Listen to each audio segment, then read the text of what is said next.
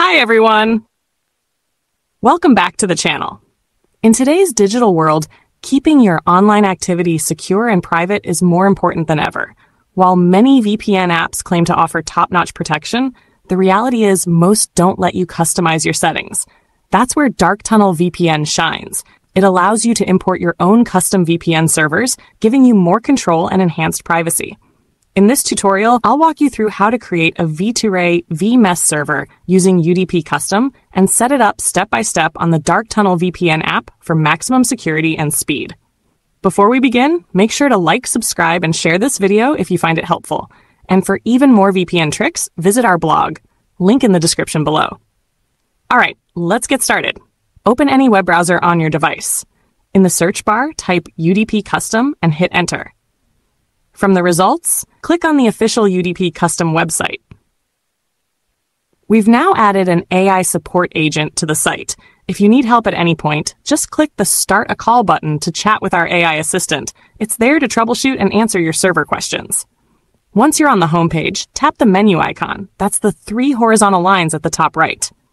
From the menu, select V2Ray Slow DNS Server. Now choose your preferred server location from the list of available countries. Next, fill out the account creation form. Enter a username. Solve the CAPTCHA. Click Create Now. In just a few seconds, your V2Ray vMess server account will be generated. You'll see the vMess link or JSON config. This is the information you'll use in the next step. Take a moment to copy the details. They're important. Now it's time to configure your new server in the Dark Tunnel VPN app. Open the Google Play Store on your mobile device. Search for Dark Tunnel VPN and tap Install to download the official app. Once installed, tap Open to launch the app. Here's what to do next.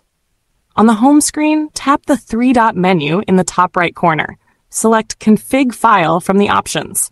Tap the Import button, then choose Clipboard to paste the server details you copied earlier. Once the config is successfully imported, go back to the main screen and tap Connect.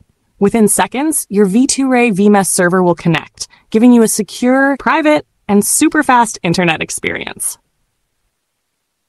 And that's it! You've now created your very own V2Ray server and connected it using Dark Tunnel VPN. If this video helped you out, don't forget to give it a thumbs up, subscribe to the channel, and share it with friends who care about online privacy and performance. And I'll see you in the next video.